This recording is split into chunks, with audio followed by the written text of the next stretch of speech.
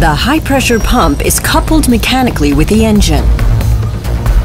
In the common rail system, this pump ensures that fuel pressure in the rail is maintained constantly.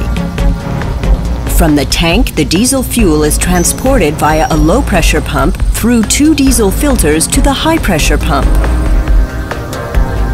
Once there, pump elements then increase the pressure to up to 2,500 bar.